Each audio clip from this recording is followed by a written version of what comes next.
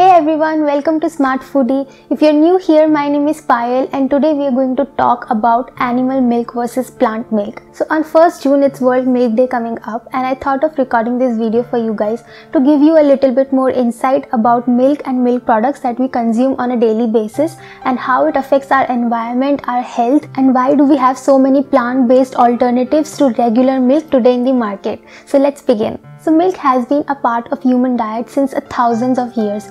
We consume milk and milk-based products like yogurt, cheese, butter and cream on an everyday basis nowadays. We are reminded again and again how much essential is milk in our diet to fulfill our daily nutritional requirements. And we all know that if we want to grow and become a strong person with great immunity, milk is the way to go. So we make sure to consume it ourselves as well as feed it to our children. Aside from milk, milk-based products like cream, cheese and butter are also almost an essential part of our lives these days. But is it really that healthy and essential? Then why do we have so many alternatives today in the market? There are widely three reasons why animal milk is not as good as we consider it to be. Number one is health. No doubt animal milk has a lot of protein and calcium and a lot of essential vitamins and minerals as well. And those components are very important part of human diet. But milk also has a lot of saturated fat and saturated fat has been linked in various studies to a lot of cardiovascular diseases like cancer, obesity and high cholesterol. Milk also has a component called lactose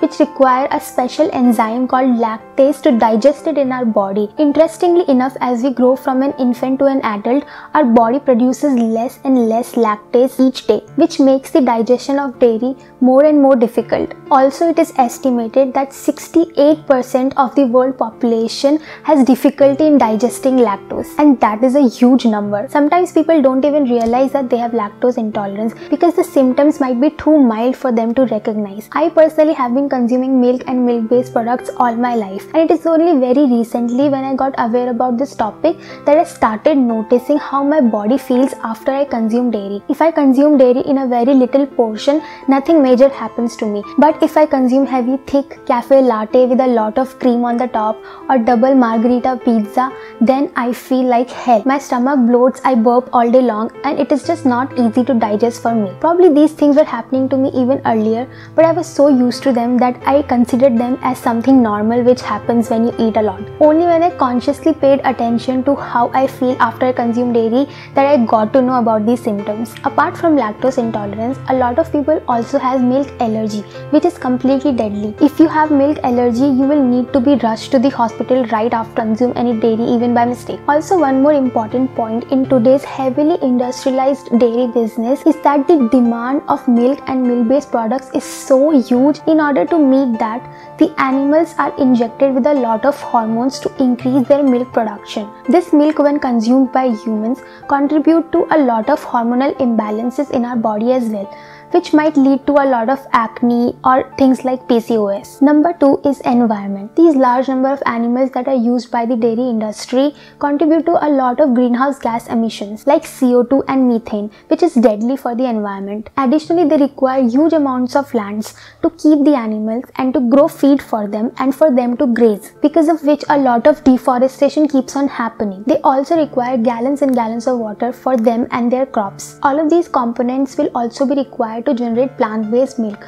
but the difference is extremely vast. More and more deforestation is happening these days in order to keep up with human demands of dairy products and we all have been hearing how it is affecting our environment. There are so many climate changes that are happening, so much more hurricanes than before, so much more wildfires. It is time to stop and actually give back to the environment to more afforestation instead of deforestation. Number 3 reason is moral or ethical. The majority part of these animals live under very bad conditions all their lives. The cows are impregnated again and again so they keep on producing milk. Shortly after birth, infants are separated from their mothers so the entire milk production can be used to fulfill human demands. And once the cow cannot produce required amount of milk, it is sent to be killed for its meat. This is a cruelty based industry which largely exploits animals with feelings and their sad and negative emotions also affect the quality of milk and meat that they produce. So what are all these plant-based alternatives and which one should you choose? I recently did a Q&A on my Instagram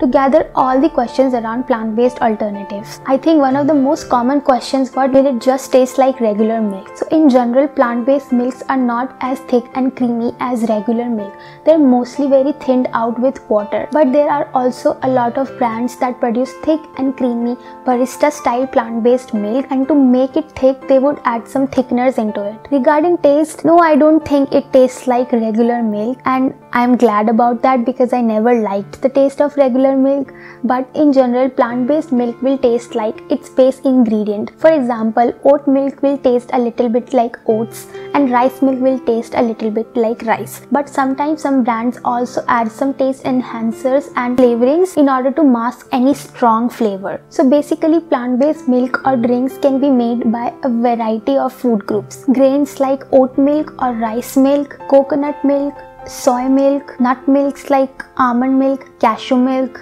Brazil nut milk, legumes like pea milk. So which one should you choose and how?